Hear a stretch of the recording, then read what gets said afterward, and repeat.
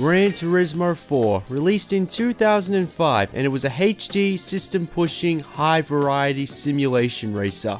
Lots of different cars, tracks, races, challenges, and music, all fitted onto one DVD. One day I was reading the booklet and noticed an advert for Tourist Trophy on the back, which was also developed by Polyphony Digital.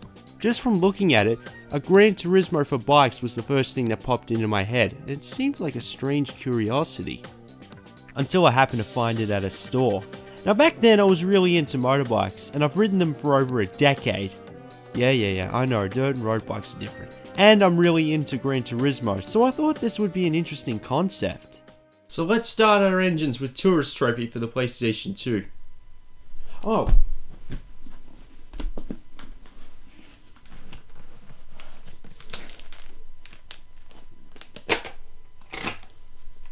Safety first.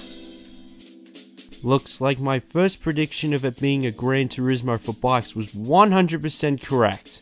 Uh, well, 72.8% correct. It has the same first menu, options, game modes, tracks, even the HUD is similar. They really should have called it Gran Turismo Motorcycle Edition, but I guess it wouldn't be as catchy as Tourist Trophy. There are over 100 bikes. That's not bad. Different manufacturers including Honda, Suzuki, Yamaha, Kawasaki, Triumph, BMW and Ducati. No, no Harley Davidson. The only problem I have is the lack of legendary bikes. Gran Turismo has loads of legendary cars that made an impact to the auto industry. Apart from a few old bikes, there really isn't any. And the only racing bikes you get are custom designed by Polyphony, with the exception of these Suzuka 8 hour ones you get near the end of the game. And they don't take much effort to obtain. Instead of using money to buy vehicles, you win them with challenge mode. In order to get bikes, you have to complete a challenge with the bike you want by overtaking your opponent or opponents and staying in front of them for 10 seconds or cross the line. Complete the challenge, the bike is yours. I also noticed if your name is too long, it doesn't show up fully on the HUD. What is this? Bone Storm on The Simpsons? When it comes to the best racing superbikes, all you do here is beat a lap time. Yes, you can get the best bike at the start of Tourist Trophy mode, but that is if you have the license. Oh man, did they have to put licenses in this game? Firstly, how does riding in a straight line 400 meters on a scooter help my riding skills? Secondly, what's the point of these stop-start tests if every race is a rolling start? Really, it is. And thirdly, when will I ever have to ride this scooter in a race? I know I don't want to, there's also a test where you have to ride through a slalom with a passenger behind. Now I understand that you need to test your balance, but there isn't a single race where you have to ride with a passenger behind, so what's the point of having a test like this? Another thing that annoys me is when you pass a test, even though you get gold, the selection always starts on retry. I can guarantee you that at least 95% of gamers would select exit every time. But once you exit and reach the menu, it starts on retry again. I mean, take me to the next test already. Polyphony really wants us to redo the test. It's not just Tourist Trophy, but all the Gran Turismo games have the same problem.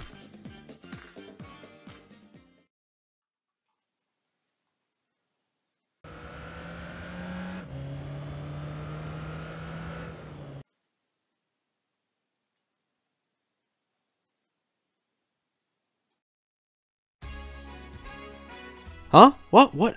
Oh. Okay, I got all the licenses. I never thought I'd say this, but even Daytona USA have better practice challenges than a simulation racer. Polyphony should rethink their license challenges because most gamers do it not to get better, but to get it over with, which is completely missing the point of all the license tests. Okay, let's change the riding outfit. Yes, you can change that too, and you can unlock outfits and helmets by winning races and obtaining the licenses as you saw just then. Now, what's the most colorful look? Got the bikes on challenge mode? Alright, let's race. In the Gran Turismo series up to that point, they had only 5 opponents on the track, which even back then sounds pretty small. But why did Polyphony have to put only 3 opponents on the track? And on the first set of events, there's only one opponent on the track.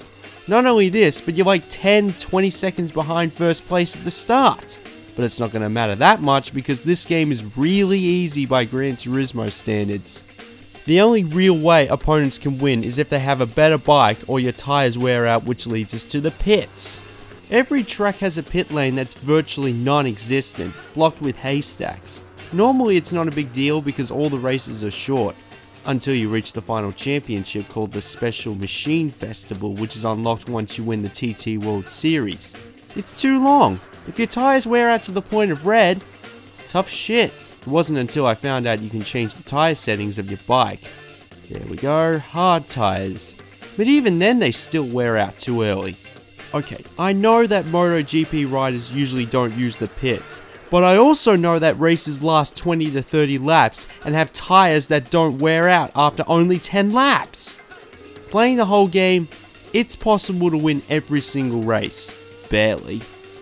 Another thing that pisses me off is if I accidentally go too fast around a corner and hit a barrier, it's a 10 second penalty.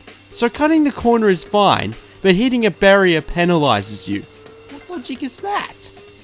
At least the controls aren't as flawed. They're pretty good for a motorcycle racing game, probably one of the best on the PS2.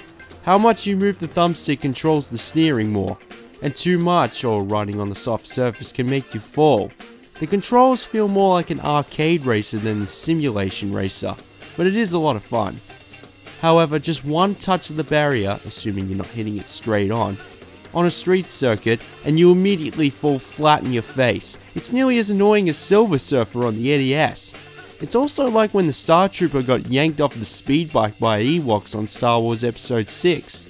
But at least if you fall off, you immediately get respawned back onto the track.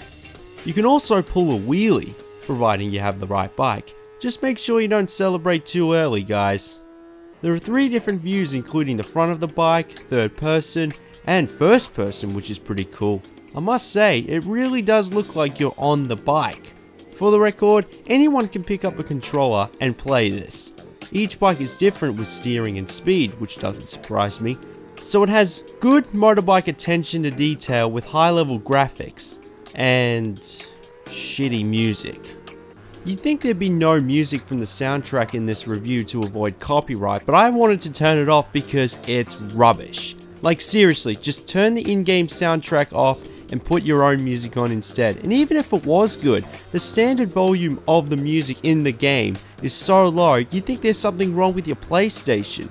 Strange, because it's not really the case with Gran Turismo 4.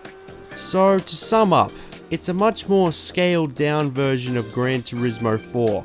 There are less race events, not as many bikes compared to cars, no endurance events, no pits, and less vehicles on the track. The game has sold close to 700,000 copies. When you combine the average number of copies sold in the Gran Turismo main series, that's pathetic. I can't say I'm surprised because the back of the Gran Turismo 4 booklet was really the only form of advertising it got. Not to mention, the PlayStation 3 came out the same year as this. If I'm not mistaken, only 16% of gamers read the booklet. Yeah, it's not a very scientific number, is it? Really, only Gran Turismo fans know about Tourist Trophy, and most are only into cars, not motorbikes. What they should have done was get the license for MotoGP, then it would have sold millions. And we all know Polyphony Digital can get big name licenses such as NASCAR and World Rally Championship on Gran Turismo 5. This would have also been an opportunity to have dirt bike racing with motocross and supercross tracks too. I mean, if Motor Racer can do it, why not Tourist Trophy? There was so much potential in this game that could have been utilized, and it's a shame that a developer like Polyphony didn't take advantage of it. Hopefully, when they make another Gran Turismo game, there'll be like a sequel and or reboot to Tourist Trophy with all these things. But in the meantime, 7 out of 10 is my rating. There are lots of things they took out which made me scratch my helmet, but the riding controls are good, the graphics push the PlayStation 2's limits, it's in HD, and it's well made. There's just not that much to do apart from the race events, which are pretty easy if you select the correct bike. But you'll definitely enjoy it enough to want to complete every single one. It's certainly worth having in your PlayStation 2 collection, even today on eBay, you can get a copy in good condition for less than $10, even though this game sold less than Conker's Bad Fur Day. Just saying. What Sony should do is release it on the PlayStation Store. Either that or give us a sequel. What are we waiting for?